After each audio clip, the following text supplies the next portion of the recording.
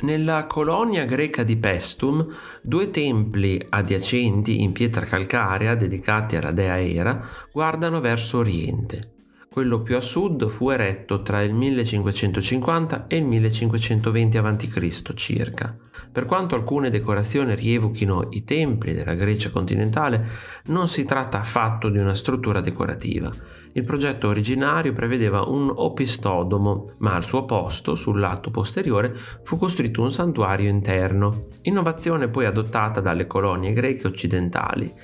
Una singola fila di colonne divideva a metà la cella rialzata, secondo uno stile arcaico. Attraverso due porte si accedeva alla cella e all'aditon, un'area chiusa retrostante, forse usato nelle processioni rituali o per un doppio culto. Il secondo tempio, eretto circa 60 anni dopo, è più grande ma più compatto. L'opistodomo e i gradini che conducevano alla cella mostrano un'influenza greca continentale. Si ritiene sia il più puro dei templi dorici sopravvissuti rifinito con una leggera curvatura del centro dello stilobate per correggere la deformazione prospettica, con un'inclinazione verso l'interno delle colonne e una riduzione degli spazi frontali e laterali agli angoli per centrare i triglifi sovrastanti. Le colonne erano rivestite di stucco per donare al travertino un aspetto marmoreo. Il rigonfiamento del fusto delle colonne era detto entasi e rappresentava metaforicamente il carico sostenuto. Nel secondo tempio di Era, nelle curve delicate dell'Ereteo e degli alti edifici dell'Atene classica, il rigonfiamento appare assai meno marcato.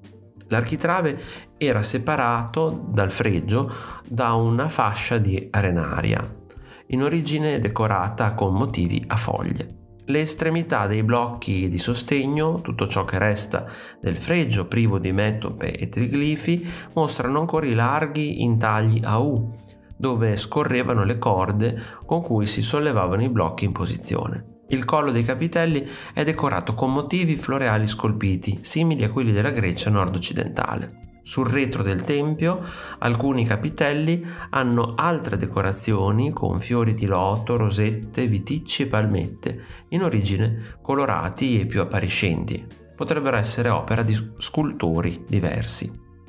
Il profilo dei tetti dei templi era decorato con terracotte architettoniche in stile tradizionale. Nulla rimane della parte sovrastante il fregio, ma sono state trovate numerose antefisse in terracotta dipinta provenienti dalle grondaie. Questo frammento risale al 520 a.C. circa proviene da un lato lungo del primo tempio di Era ed è costituito da una sima, parte terminale della cornice del tetto usata come canale di scolo, decorata con palmette, fiori di loto e finte teste di leone.